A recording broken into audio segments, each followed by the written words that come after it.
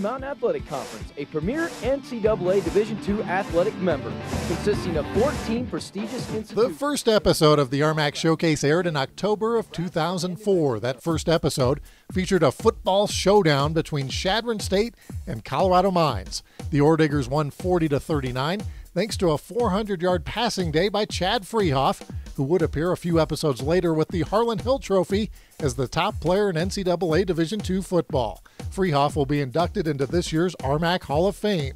Danny Woodhead also made his first appearance on that first showcase that day. He rushed for 260 yards to Mines in that loss. He would go on to become the all time leading rusher in NCAA history and was a frequent guest of the RMAC Showcase.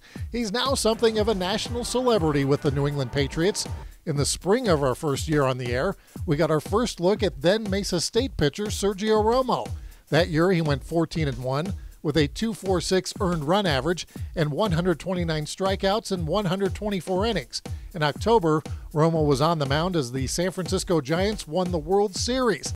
His second ring as a major leaguer, Romo would later appear on The Tonight Show with Jay Leno. And we are joined now by head coach of the Metropolitan State College of Denver Roadrunners, Mike Dunlap. Coach, thanks for joining us in studio on the RMAC Showcase. During the first few years of the show, Mike Dunlap of Metro State was a frequent guest of the RMAC Showcase.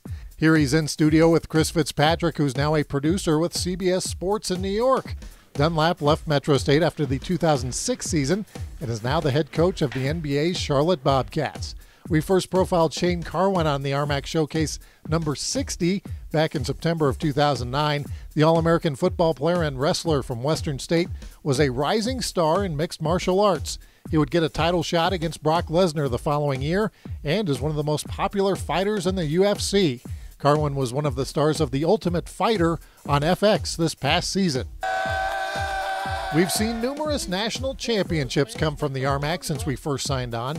The Fort Lewis men's soccer team won their first NCAA Division II title in our first year.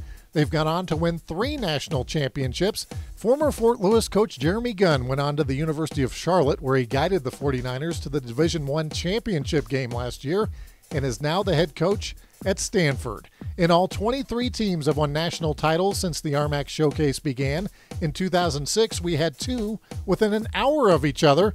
The Adams State women's cross country team captured the national championship in Pensacola, Florida, while across town, the Metro State women's soccer team also won the national title. Of course, there are hundreds more stories we have told since signing on, and still thousands more to tell.